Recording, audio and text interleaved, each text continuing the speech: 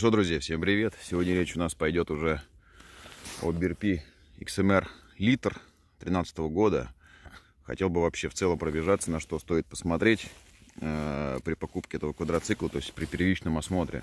Потому что глобально вы в любом случае ничего не узнаете. То есть э, в данном случае можно использовать программу BATS, но если у вас ее нету, и это действительно достаточно проблема большая, чтобы приехать с БАЦом и, и посмотреть технику.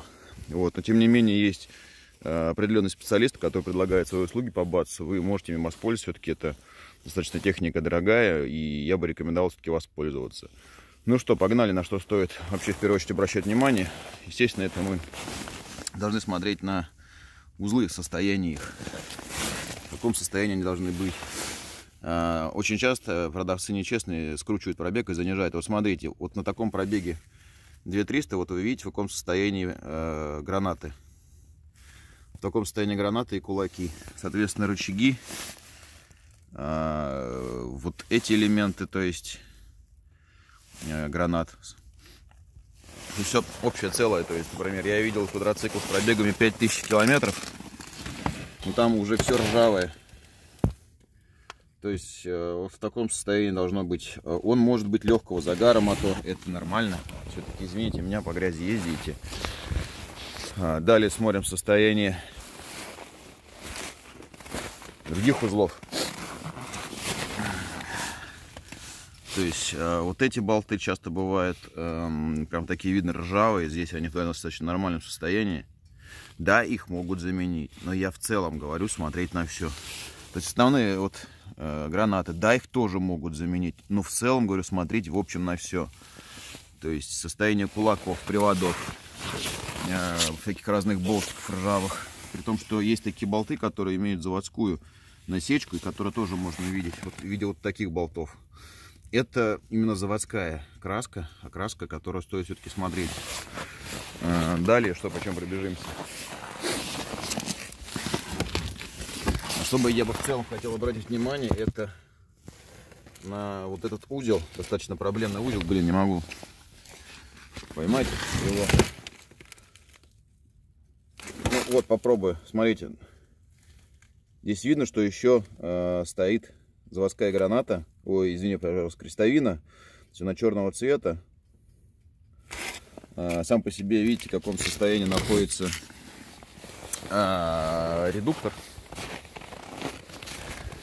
Вот эти элементы в первую очередь нужно проверять и смотреть их состояние. Также вот видно, что здесь простой обыкновенный легкий загар э, у квадрика. Вот сам задний редуктор достаточно проблемная вещь, которую все знают. А, вот, собственно, сами крестовины. Вот. На них стоит очень обращать внимание. А, как правило, они потом становятся цвета белого, ну такого цвета металла, назовем его. Вот это значит, они мененные. Но опять, знаете, как бы в целом можно сказать о том, э, квадроцикл по-разному эксплуатируется в разных условиях, и они могут просто крестовины быстро умирать. Но если вы в целом будете смотреть если человек владелец, то есть смотрел за состоянием узлов, то проблем в этом вообще никаких нету. Вот, э, пожалуйста, вот на пробеге 2300 вот в таком состоянии передний кардан. То есть он не ржавый, он никакой. Это вот свидетельствует о, э, знаете, как правильно сказать, пробег соответствует э, заявленному в целом. Но вот по пластику здесь есть недочеты, но извините. Вот я, например, сейчас прокатился по лесу, вот много такого Э, кустарника, через который ты едешь, это все царапается. Поэтому все эти вещи, которые вы видите, в целом, э, я бы сказал, на них вторично стоит обращать внимание. Все-таки пластик вы можете заклеить, э, пленкой обтянуть, покрасить, там что угодно с ним можно сделать. Но в целом, как бы вот на эти элементы смотреть стоит. Далее, чтобы на что хотел обратить внимание, смотрите обязательно на радиатор, то есть в каком состоянии радиатор. То есть вот здесь видно, что он не коричневый, то есть здесь человек видно, что не плавал. Так бы в целом смотреть состояние болтов на колесных. Насколько действительно также это соответствует всему. Э, смотрите, потом дальше по механике проверяйте абсолютно все реально. Просто трясите квадрик. Э, потому что вот надо все смотреть. Не стесняйтесь, берите с собой домкрат, берите, поднимайте его, смотрите. А, рычаги задние, которые маятниковые, в них очень часто умирают подшипники. Но это все копейки стоит, реально просто работа будет дорого стоить. Э, вот в целом как бы так на все смотреть. Задние подшипники, они вазовские. То есть предмет торга не очень сильно большой будет. В целом, вообще, в первую очередь, я обстоял, э, хотел бы сказать на то, что важные узлы это, естественно, мотор, редуктор, коробка. Смотрите, опять же, как включается коробка, насколько э, четко передача переключается во время заведенным, то есть, никаких хрустиков не было, и четенько она переключалась. Это очень важные моменты.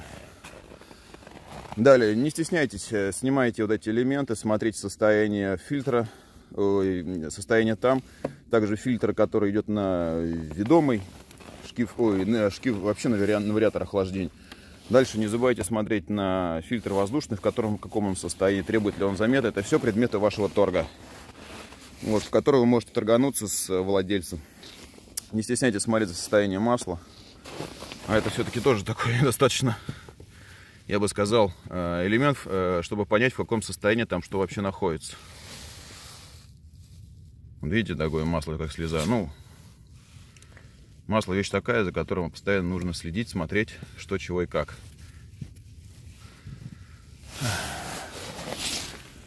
Целом, вот примерно вот, вот как бы так, да, вот. Ну, опять же, я хочу особо сильно отметить. Квадрик уже эксплуатировался, он не новый. Нужно сделать некоторые погрешности. Но э, смотрите на самые дорогие узлы, на которые э, вам придется ремонтировать и вкладывать деньги. Потому что все очень основное дорогое на них стоит. Там моторы, коробки, редуктора, переборка. Это все деньги стоит. Если вы это делаете своими собственными руками, вы потратите только время, ну и, соответственно, стоимость на запчастей. Поэтому вообще при выборе более детально смотрите на все. Абсолютно на все. Э, и рекомендую, конечно, воспользоваться программой БАЦ при выборе квадрика. Опять же, по мотору что можно? Вот важный момент, по мотору что можно понять. Если вы понимаете, если вы хороший моторист, движки двигатель, смотрите э, натяжитель цепи. Натяжитель цепи по состоянию можно посмотреть по, на, на, на моторе. Немножечко выкручивая, вы поймете, в каком состоянии цепи, и в данном случае вы можете примерно сопоставить, э, соответствует ли пробег заявленному. Но говорю, опять же, в целом, если смотреть на все узлы, Э, который вот я примерно показал, вы увидите, насколько действительно это соответствует тому, что заявляет продавец. Повторюсь, это вот на пробеге 2300 вот такое состояние. То есть вот такое состояние 2300. Оно в очень хорошем состоянии все здесь. Вот. Но если мы говорим про пластик, ой, про элементы, которые, допустим, от веток царапаются, то оно будет вот в таком состоянии. Вот в таком будет состоянии. От этого никуда не деться от этого никуда не деться. Также э, здесь, допустим, э, квадрик находится с пневмоподвеской. Действительно, вещь очень классная, кому-то нравится, кому-то нет. Я пока доволен ей.